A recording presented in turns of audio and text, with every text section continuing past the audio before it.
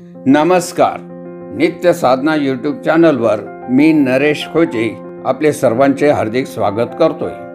मित्र हो पुराणात सांगितल्याप्रमाणे आणि परंपरेनुसार प्रत्येक कार्याच्या सुरुवातीला सर्वप्रथम गणपतीची पूजा केली जाते.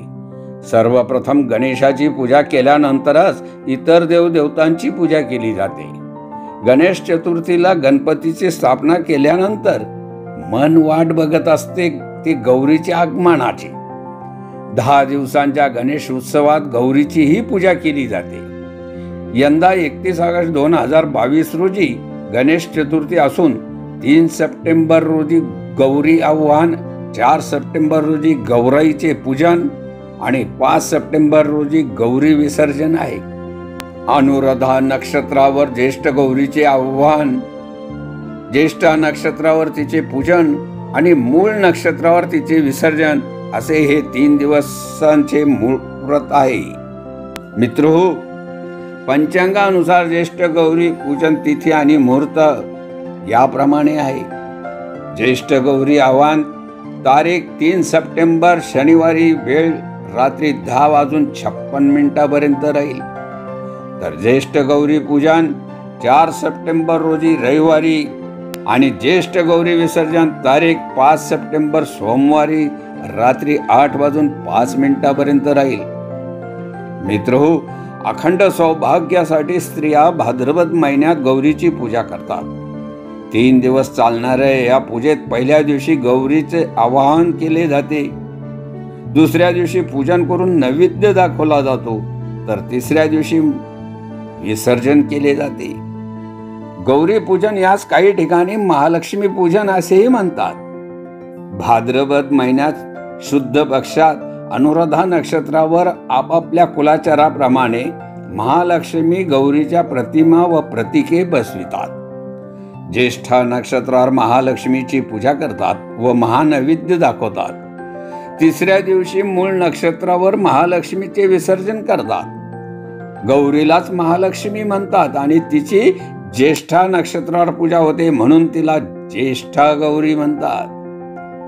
मित्र हो एकदा असुरांच्या त्रासाला कंटाळून सर्व स्त्रिया महालक्ष्मी गौरीकडे गेल्या आणि त्यांनी आपले सौभाग्य अक्षय करण्याविषयी तिची प्रार्थना केली. त्याला अनुसरून गौरीने असुरांचा संहार केला व शरण आलेल्या स्त्रियांना त्यांच्या पतींना व पृथ्वीवरील सर्व प्राण्यांना सुखी केले.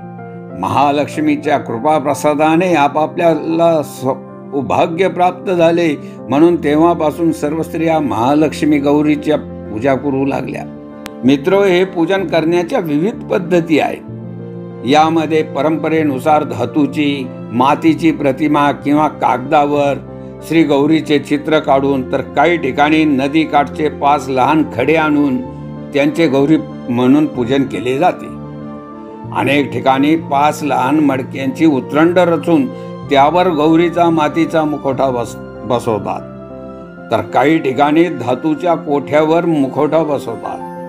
काही ठिकाणी सुवासिक फुले येणाऱ्या वनस्पतीची रोपे अथवा तेरड्यांची रोपे एकत्र बांधून त्यांची प्रतिमा तयार करतात आणि त्यावर मातीचा मुखोटा चढवतात.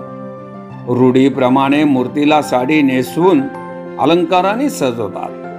गौरी सजवल्यानंतर शुभ मुहूर्तात गौरी बसवितात. गौरीला घरात आणताना रांगोळीने आठ पावले काढतात. थाटामाटात घरात आणता प्रत्येक पावलावर गौरीला थांबून आत आणून आसनावर विराजमान करतात. महापूजनात पाना फुलांची आरस करतात. शेवंतीची वेणी माळवतात. हार चाफ्याचे फूल केवड्याचे पान वाहतात. गौरीची स्थापना झाल्यावर दुसऱ्या दिवशी ज्येष्ठा नक्षत्रावर महालक्ष्मीची पूजा करतात व महानैवेद्य दाखवितात. माहेरी आलेल्या गौरीला विशिष्ट प्रकारचे पदार्थ खाऊ घालण्याची पद्धत आहे. माहेरवाशीन ज्येष्ठ गौरीला पूर्णाचा नैवेद्य दाखवितात.